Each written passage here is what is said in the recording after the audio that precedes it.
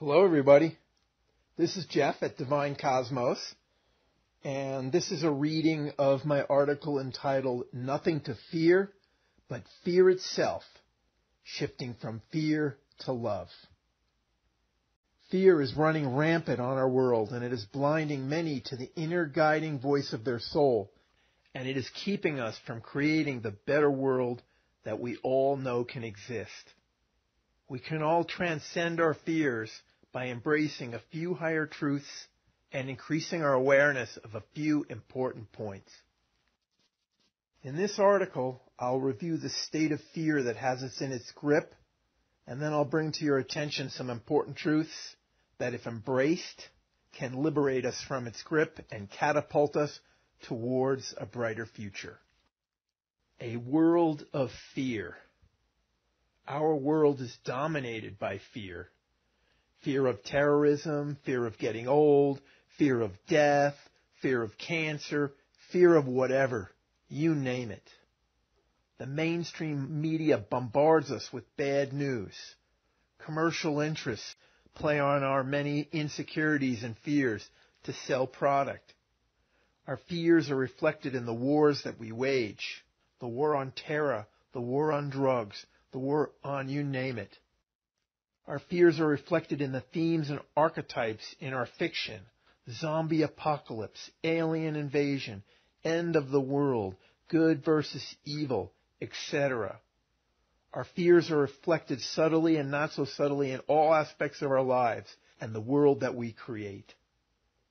On a personal level, many of us allow the painful or challenging experiences of our past to dominate our thinking and responses in the present.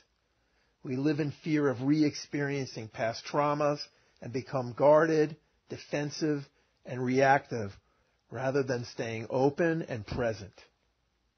Perhaps our deepest fears are of not having enough or not being enough, of not being able to provide physically for ourselves and not being good enough, worthy enough, or deserving enough.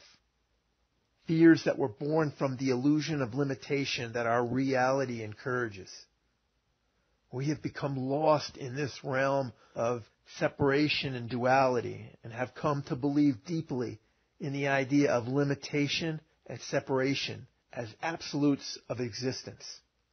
We have lost touch with our higher self who knows no limitation and no separation from the one and the all. Blinded by fear.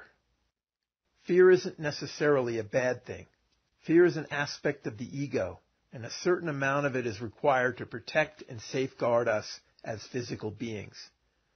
But fear has become exaggerated within us well beyond the instinct for protection, becoming a way of life, a constant experience, and an inner guiding voice. Fear was meant to encourage us to be conscious and aware, to be observant of any dangers around us, and yet fear now encourages many to be unconscious and unaware of the inner guiding voice of their soul and their higher self, their divine presence. As Leo Tolstoy once said, let fear once get possession of the soul, and it does not readily yield its place to any other sentiment. Manipulated by fear. There are those in our world who are using fear as a tool to divide us, to disconnect us from our inner truth and divine presence, and to disempower us. These people have realized that fear is a powerful tool that they can use to control others, achieve their self-serving agendas, and give themselves a false sense of power and self-importance. While they can create circumstances and situations that are calculated to create fearful experiences in many, you can choose to be conscious and aware of your own emotions and reactions and not have fear activated within you. Fear disempowers. Fear is a powerful emotion that distracts us from focusing on what's important. It keeps us focusing on exactly what we don't want instead of focusing on what we do want. Our fears interfere with our ability to create the best possible outcomes for our lives and the world. Our fears keep us caged within a, a limited set of possibilities. As we awaken to the truth of our higher self and the wider reality, we realize that our thoughts are creative and that what we focus on, we attract. The creative power of thought is largely determined by its duration, consistency, and emotive intensity. And fear is a very strong emotion. So letting it run amuck in your head will make you a powerful manifester of what you don't want. This is why people who have mastered their minds never dwell on their fears. And this is why those that seek to empower themselves through controlling others always try to encourage our fears. Transcending our fears. A great shift in the consciousness of humanity is occurring, and many of us are beginning to transcend our fears, shifting from the fear-centric responses of the mind and the ego to the compassion centric responses of the heart, shifting from fear and judgment to forgiveness and love. Yet many are still caught up in their personal dramas as well as the collective earthly drama. Wars and terrorism everywhere, famine and poverty, disasters of all kinds. There seems to be a lot to be worried about. As Marie Curie said, Nothing in life is to be feared. It is only to be understood. There is nothing to fear. As one awakens to the wider reality and their higher self, one becomes less and less attached to all the drama of the world. One begins to see it for what it is a grand illusion, a game that we are intentionally playing. Fully embracing a few truths about the wider reality can give you a profoundly different perspective on life's difficulties and liberate you from the tyranny of your fears. Here are five things that should liberate you from your fears. Number one, the real you lives forever. Existence does not end when the body dies because the real you is not your body. The real you is an eternal, non-physical being, your soul, which is a thread of universal consciousness or source consciousness, or what some people might call God. The real you is connected to your physical body as a vehicle for physical experience. When your body dies, your consciousness continues forever. Here's something that Eckhart Tolle said in his book Stillness Speaks that echoes this. In the last few moments before physical death, and as you die, you then experience yourself as consciousness, free of form.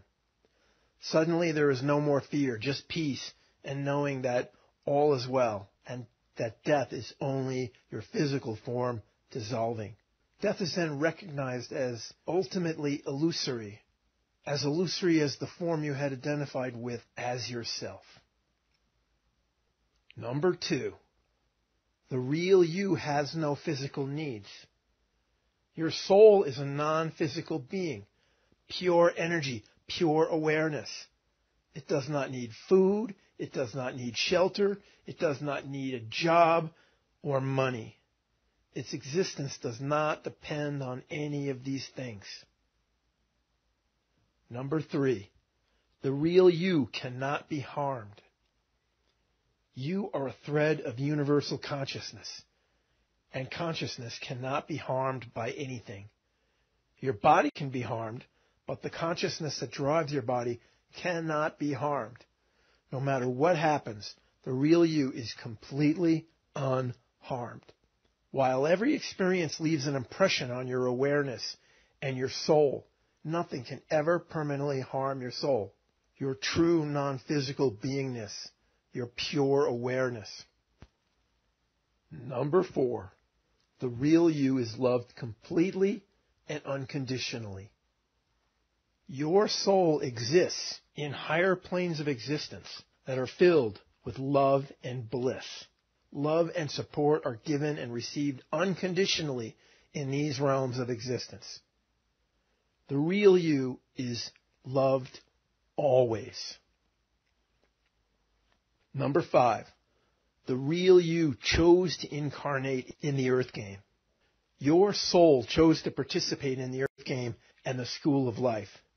You scripted your life and, and its major themes. You knew it would be challenging, but you were excited to play because you knew that formative growth only comes from real challenges. You were not concerned with the apparent danger of some of the challenges because you understood that it's just a game and that the real you can never be harmed. Shifting from fear into love. Imagine if your response to everything in your reality and your world, whether it was a major disaster or a painful experience, was compassion for yourself and everyone involved.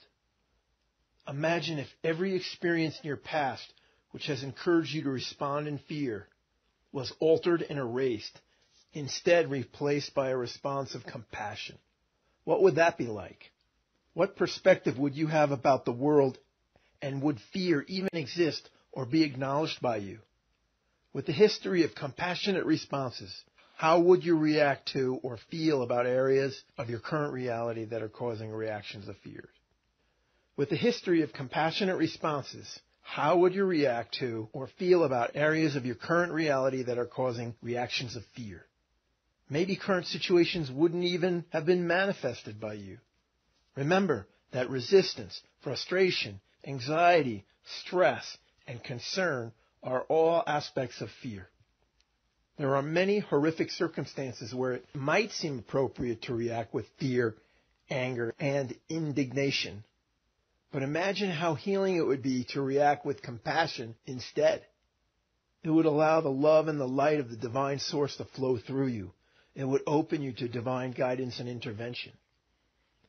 Exercising compassion allows every situation to be illuminated with light, love, and peace for yourself and all of humanity. Imagine if every person chose to react with compassion. Fear would disappear and kindness would blossom in its place. From kindness, love is born. The unconditional love of the divine source that can be widely and freely shared because its supply is unlimited. When the love of the divine source is present, anything and everything is possible and able to manifest with ease and perfection. Shifting your reaction from fear to compassion simply requires you to realize and be observant of a few points. Number one, your fear is illusory. The lesser you, the you here on earth, your egoic self, may be allowing fear to dominate its thoughts and manifest them into your reality. But the truth is, is that your soul and higher self know no fear. When you fully embrace this truth, it becomes much easier to let go of your fears. By choosing to let go of any fears that arise in you, they can be released and erased. This can take some persistence because fears can be tenacious. But with constant focus on letting your fears go, you will begin to feel freedom birth within you. And as you taste this, it will become easier and easier to release your fears. Through the desire to transcend your fears, you are encouraging yourself to observe your fears free from judgment and attachment. Observing and being consciously aware of your fears is the most powerful tool to releasing the habit of fear because only through awareness is change possible. With detachment from fear, you will be able to think and sense with greater clarity and manifest with greater power. Number two, forgiveness. When you are aware that you have reacted and responded with fear, be forgiving to yourself. Know that fear is a conditioned habit.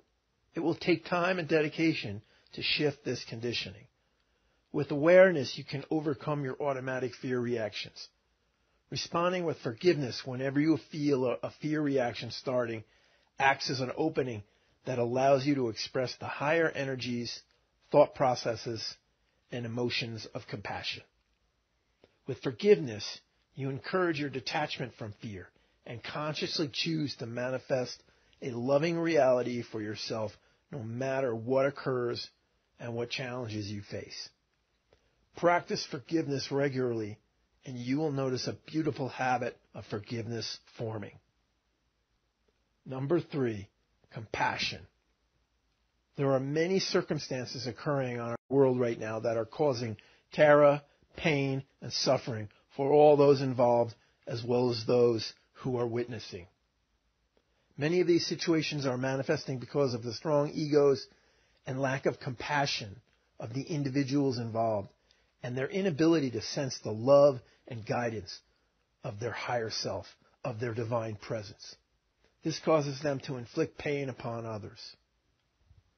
When we view these horrific circumstances with a wider perspective, we recognize that these circumstances are acting as catalysts for positive shifts in many people.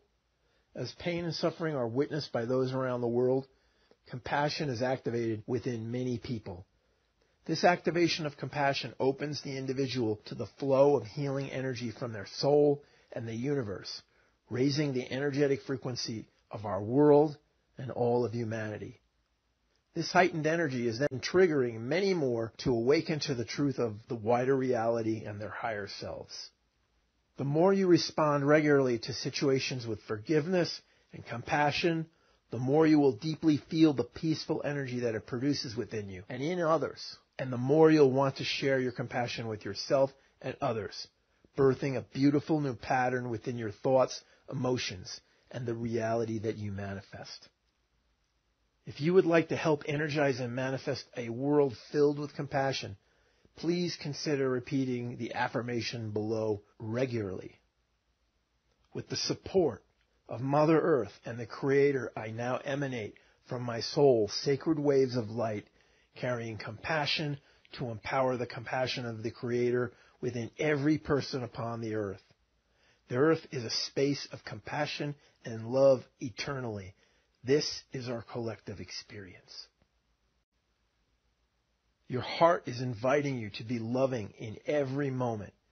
It is through compassion and your conscious awareness of fear that you can encourage others to experience the profound love of the Creator and contribute to the manifestation of a new reality, a reality characterized by cooperation, harmony, peace, and prosperity for all. Thanks for listening. If you enjoyed this article, you might consider following my blog to get notified when I post new articles. Go to http colon slash slash divine-cosmos.net to follow the blog and to check out my other articles. Thank you for watching. If you like this video please give us a like and subscribe, because we have more content coming your way.